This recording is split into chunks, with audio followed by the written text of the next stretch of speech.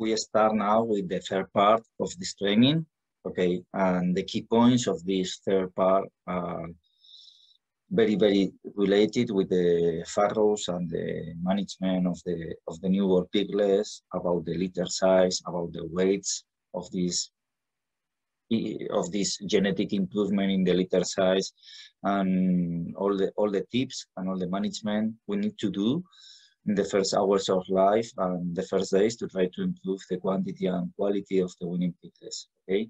And these are excuse me these are the, the the key points the management in the first day colostrum intake and split nursing adoptions and nurse sows is a very important point because as I said to you in the first part of the presentation, for me, nurse sows are the main difference with the with the other genetics and are the main difference of hyperprolific sows because it's the reason of the litter size. We need to move piglets after 24 hours after the first day the first day of life and the main difference with the other sows. Okay, as I said to you in this slide, for me, if you remember the, the first two trainings is very important, the, the quarantine, the, the, the percentage of red cells, the management of the cells uh, around stimulation and artificial insemination, the different techniques we can use, the feeding cells in gestation and peripartum. But the main objective is the win the best quantity and quality piglets. And the main difference we observe with hyperprolific sows are related with farrows with the litter size. Okay.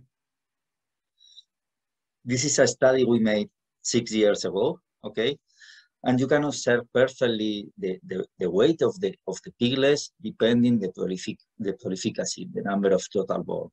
When our when our litters are less than 10 piglets, the percentage of the piglets with less than one kilo is very low, is less than 3%.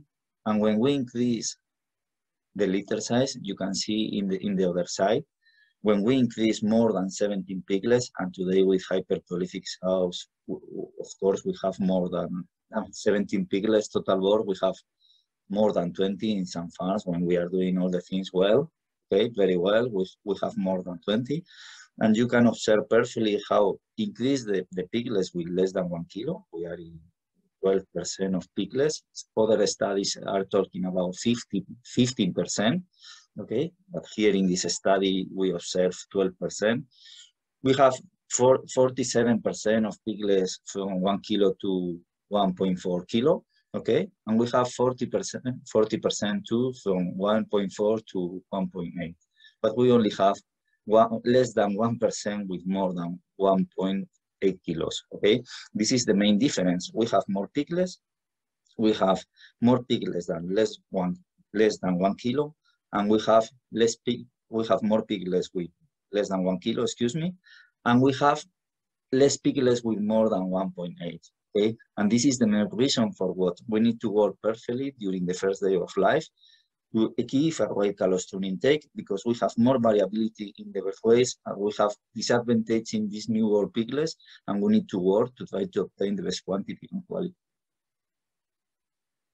Okay, in this slide you can see the probability depending the, the, the birth weight, okay, the probability to to, to, to, to survival in the weaning day, okay? When our when our piglets are more than 1.8, 1.1.5, the probability is very high, close than 100%.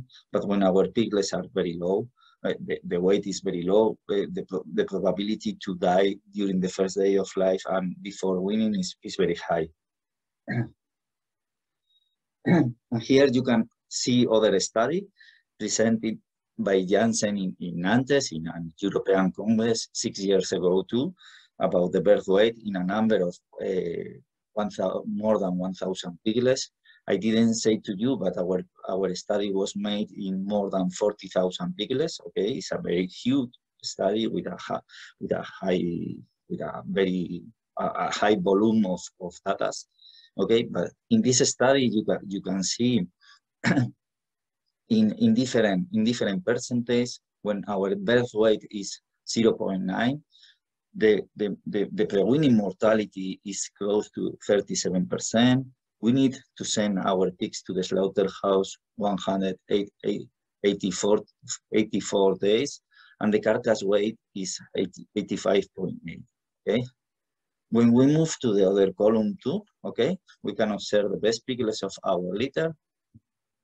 You can observe when I, our birth weight average is 1.6 kilos, okay, the maternal, the maternity mortality, the pregnant mortality Uh, is only 8%. We need less days to send our pigs to the slaughterhouse, okay? We, we will reduce this time in seven days and the carcass weight is, is higher. We, we have more kilos in the carcass and we need less days to send these pigs to the slaughterhouse. And this is the main reason for what when our birth weight is higher, we have more less mortality and we have more advantage in the nursery and in the finishing facilities in the nursery and in the finishing performance of our pigs. We have more full value pigs during this period when our birth weight is higher. But we need to work as well as possible to try to reduce this disadvantage of hyperprolific sows. And I think is the most important thing we are trying to, to explain in this third part of this training.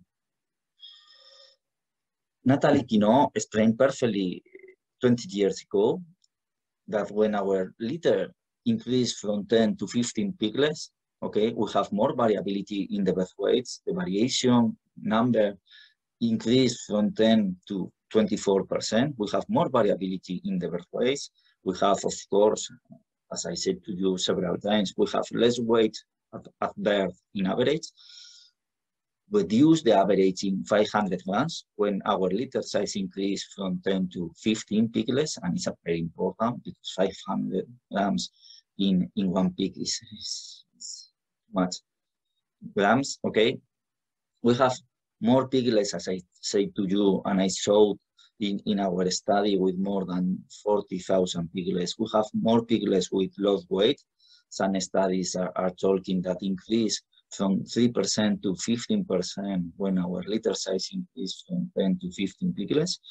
And of course, we have been talking about that. We, we have less survival because we have more small, small piglets and it's more difficult for them to maintain the temperature, increase or obtain the right colostrum intake and we have more mortality of these piglets close to 37%, if you remember in the Janssen study made six years ago. Another important thing we observe sometimes with hyperprolific sows is the intrauterine growth restriction piglets. In this slide, you can see a picture, okay, and you can see data, and the data for me are very important because I don't want to explain you all, all this slide, but the main concept is that these piglets with the intrauterine growth restrictions, they develop during the gestation is lower. They have more restrictions in the uterine capacity and the weight of the organs and the vitality of these piglets is lower.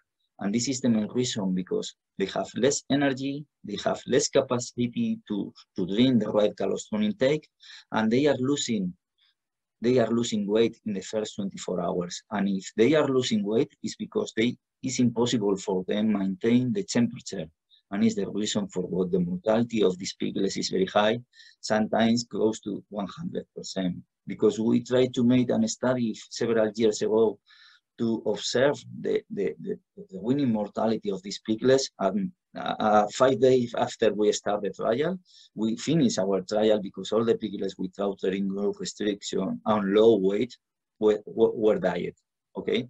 And our trial finished because it's very difficult to work with these piglets because we, we try to work perfectly in the right colostrum intake, but are piglets without capacity to, to, to drink the right colostrum intake and to maintain the temperature. And they are losing temperature and it's uh, one of the main concepts, you know, perfectly, that the piglets died during the first days because it's impossible for them to either drink the right colostrum intake and maintain the temperature.